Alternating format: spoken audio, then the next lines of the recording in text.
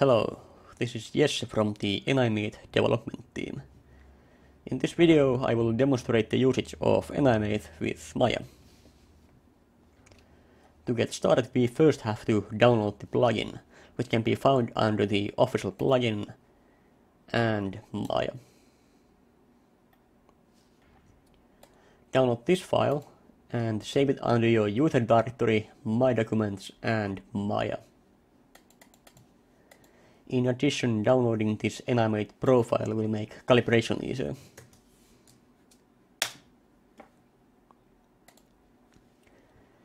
Open the zip file and unzip its contents.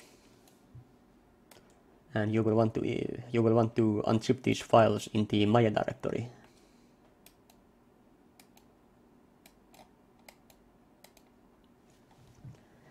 Now all we have to do is open Maya. Okay, I now have Maya open and we can now load the plugin.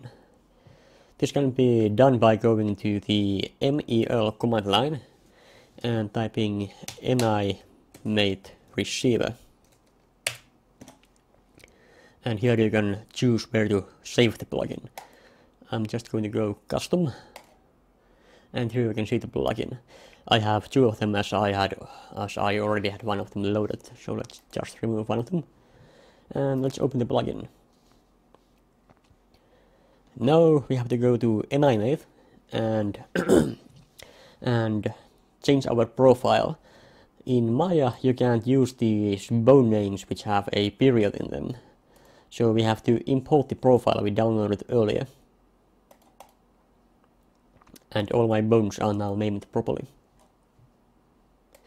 In the Maya plugin there are three options. The first one of them automatically generates locators, so you don't have to manually create them. The second one is used for recording your keyframes, and the third one is used for creating a general parent object for all your locators. This way, if your nodes are somewhat off, you can just scale one of them. So let's start receiving data and see what we can do.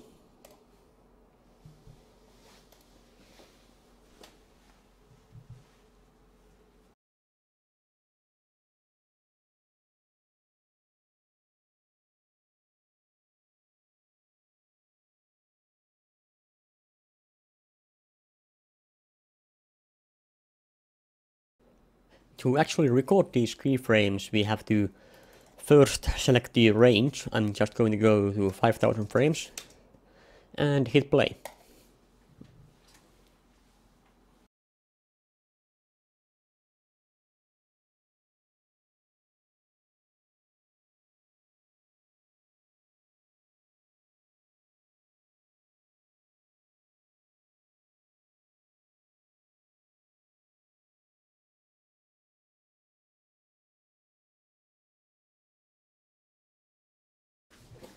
And finally just stop playing. Now as we go in the scene we can see that the locators are moving around. Thank you for listening and I hope you enjoy using NI mate.